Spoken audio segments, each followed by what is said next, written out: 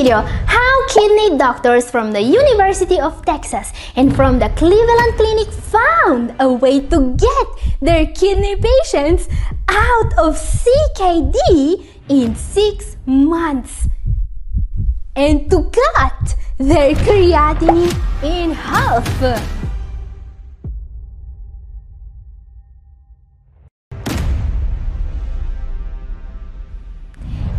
Here, I'm a doctor in natural medicine, and today I have reviewed the work of some of the most prestigious kidney doctors from the US to share with you the most effective way of cutting your creatinine in half. Guys, it's finally time the medical world gives up their old ways of treating CKD for something that actually works. And guess what? They are using a natural, holistic approach now. Yes, I have been saying that CKD can be treated in ways that do not involve dialysis for more than a decade. And finally, someone started to listen. And as I was expecting, when doctors and nephrologists start to focus on actually helping the patients instead of just getting them to start dialysis as soon as possible, the results can be dramatic. In the documents they published, none of their 288 CKD patients, many of which were in stage 4 and 5, ended up in dialysis. You're gonna like it. And this is a terrific result because dialysis is often started when the patient enters stage 5, alright? And yet, this doctor said to their stage 5 patients, No, you don't need dialysis. Just follow these steps and you will be alright. Okay, but now you may ask, how can we benefit from their findings? What should we do to make sure our creatinine is going down?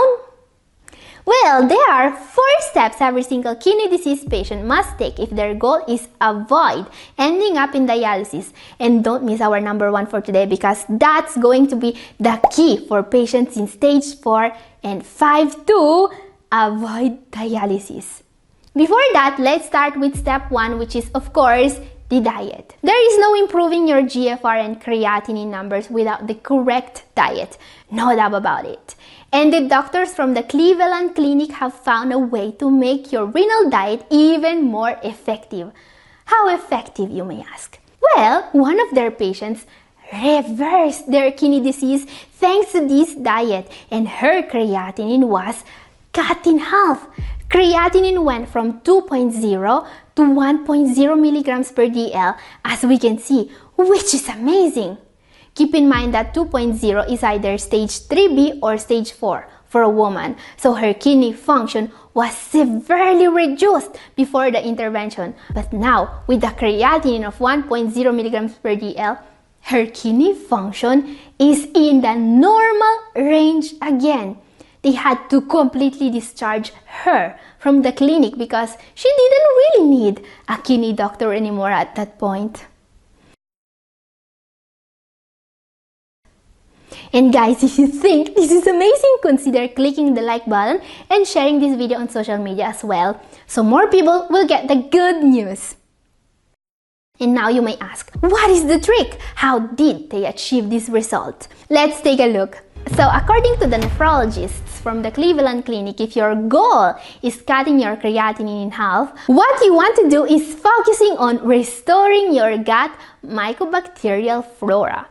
As you probably already know, your gut is home to a complex ecosystem of bacteria that's essential in order to survive.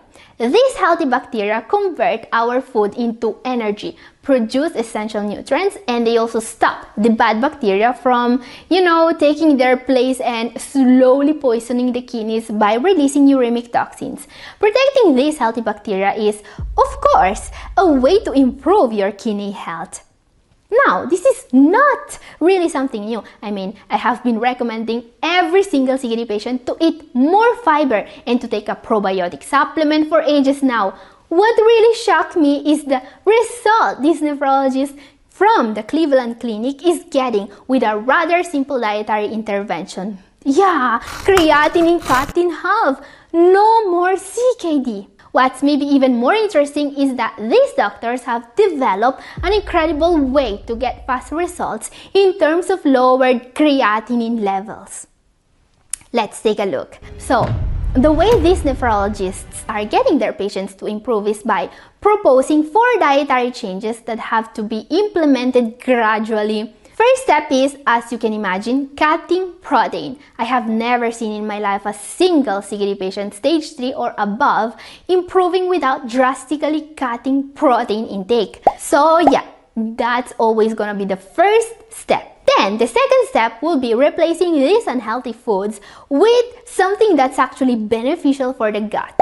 Beans, vegetables, and nuts. These are foods I always recommend because that's where most of the fiber we get every day is. The more beans, vegetables, and nuts you eat, the better. Just make sure you are not getting too much of protein from these foods. Alright? Prefer, for example, green beans to common beans. Then the third step is adding foods that actually increase the amount of healthy bacteria in your gut. And we are talking about probiotic rich foods here. And one of the best foods is, in my opinion, kimchi. Most people, when they think about probiotic rich foods, usually think about yogurt, which being dairy, I do not recommend, by the way. Fortunately, kimchi is much better than yogurt. It has more strain of probiotics and it doesn't have animal protein nor phosphorus in it. It's also incredibly tasty and it's made from fermented cabbage, so even more health benefits.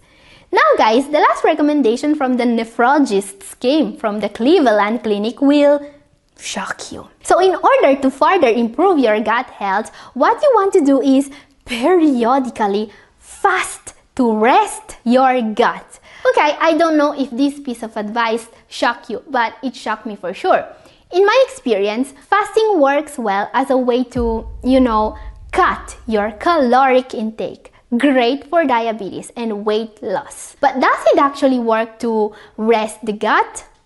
Well, actually, some studies are supporting this theory, but they are mostly done on animals. There is not too much scientific literature to support fasting as a way to improve gut health, so I won't really recommend it to you for now. For now, what I can recommend intermittent fasting for is diabetes and weight loss. And yet, these doctors got some incredible results with this method. I mean, getting creatinine levels from 2.0 to 1.0 is not something to sneeze at. So my question is, have you ever practiced intermittent fasting? Did it help with your gut? Let me know down in the comment section. And guys, when it comes to the gut health, I've personally seen great results with supplements both when it comes to probiotics and prebiotics as well. So consider adding both healthy foods and supplements to your regimen if your goal is cutting your creatinine in half. And by the way, the reason why this approach works is because it literally turns your gut into your third kidney. And if you want to know more about how to use your gut, as a third kidney, I recently made a video about this. It's up here and also down in description. Up next, our next entry today comes from the work of one of the greatest of all time, Dr. Joseph Pizzorno. Dr. Pizzorno is the founder of Bastyr University and one of the most respected naturopaths in the world. And I've decided to include him in this video because his work can help solve one of the biggest issues CKD patients are facing, nephrotoxins. According to Dr. Pizzorno, if your goal is to cut your creatinine in half, you must aggressively reduce your exposure to nephrotoxins. So question, what are nephrotoxins and how do we reduce exposure? Very simply put, nephrotoxins are substances that are toxic to the kidneys. These include lipopolysaccharides from a leaky gut, toxins from smoking, and organic pollutants such as glyphosates. These are all very dangerous. Now, we have already seen how important it is to keep our gut in great shape. And I bet that you guys don't smoke. So what I want to focus on now are nephrotoxins from heavy metals and organic pollutants. Organic pollutants are chemical substances that persist in the environment, bioaccumulate through the food web, and that are especially dangerous for the kidneys of people with CKD because your kidneys cannot filter them properly. Glyphosate, the herbicide commercially known as Roundup, is a clear example of this issue. Despite being a known carcinogenic banned in several countries, this herbicide is still used in the US and you may end up in contact with these dangerous nephrotoxins from many foods. But despite what one may think, it's more likely to eat foods containing this herbicide when you eat processed foods rather than raw fruit and veggies. Granola, instant oats, morning cereals, and snack bars seem to be the worst offenders. And since this herbicide is mostly used on orange, almond, and soybean cultivations, it may be a good idea to only eat organic when it comes to these foods. Now, there is also a natural supplement that can help detoxifying this dangerous substance from the kidneys. This is something Dr. Pizzorno has prescribed to many of his patients with amazing results. Ginkgo biloba. Ginkgo is a large tree with fan-shaped leaves and its leaves are what is used to make supplements. It is often used to improve blood flow and this use alone should make it worth considering, but the main benefit you will get from ginkgo is another. Ginkgo improves kidney function because it has the ability to protect against numerous mitochondrial toxins. In particular, this natural remedy seems to be especially effective against glyphosate. And yes, this means that for some patients, Ginkgo supplements may produce a rapid improvement in kidney function. And if you want to try Ginkgo, it can be purchased in extract form. It seems to be most effective when taken in several doses throughout the day, that total 120 to 240 milligrams. Consult your doctor before taking it. However, ginkgo is a very safe natural remedy. Okay guys, before we move on to our number two for today, which is going to be crucial especially for patients in the advanced stages that want to avoid dialysis, I want to say thanks to all of the new members of the channel. We have five new members and they are Jennifer Ang, Survivor, This Other Dave White, Brother Deluxe, and Winnie Makareg. I hope I got all the names right. And guys, Thank you very much for your support. It really means a lot to me. For those of you that don't know about this new feature of the channel, there is a little join button you can see right below my videos. What it does is giving your comments top priority to get a reply from me. You also get a shout out as well and you will also be able to help me create more of the content you like. So thank you very much. Now guys, let's take a look for a moment at the incredible work the nephrologists from the University of Texas are doing. They were able to achieve the amazing result of getting all their patients to avoid dialysis for the whole duration of the case study, six months as we can see. So as I was saying, no one of the patients of this study conducted by the University of Texas started dialysis and 31 of these patients were in stage 5, which is absolutely amazing. So how did they do it, you may ask? Well, this was possible mainly because they discovered a little known fact about advanced stage kidney disease. Fact, a huge number of CKD patients end up in dialysis due to medical errors because you see when the kidneys of a patient start to lose their filtering ability a lot of medications and procedures that were safe become extremely dangerous. This includes very common prescriptions such as NSAIDs and proton pump inhibitors, and also the use of imaging tests with contrast. Not to mention the prescription of antibiotics and antivirals. And yes, just by completely avoiding these kind of medical errors that are incredibly frequent, the patients were able to avoid dialysis. In fact, as you can see, the procedure these doctors used to get their patients out of renal failure was as simple as prescribing the most commonly used diabetes and blood pressure medications. Plus, teaching the patients how to interact with their doctors in order to, you know, get these doctors to avoid making dangerous mistakes. I mean, who could have imagined that if you get your doctor not to destroy your kidneys, you will be able to avoid dialysis for much longer? Yeah, we need some nephrologists for that. So in short, if you can get your doctor not to prescribe you kidney killer tests and medications, you will be way less likely to end up in dialysis. And this is what these nephrologists just proved to the world. Now guys, it's also worth mentioning that avoiding medications such as NSAIDs and imaging tests with contrast is only half of the equation when it comes to prescriptions that can destroy your kidneys. Because you see, medical interactions are even more dangerous as they are harder to identify and they can do much more damage. So now the question is how can you prevent your doctor from making a mistake that sends you in dialysis? Well, that's our number one for today. Number one is do your homework.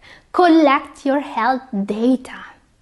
So the big find that saved all those patients from Texas from the dialysis is not the fact that some medications can kill your kidneys. Everyone knew that already. Their big discovery is a way to get doctors to stop prescribing those medications. So here's exactly what this study tells you to do if you want to avoid dialysis. First of all, each CKD patient should bring all of their medications bottle to each visit with their doctor.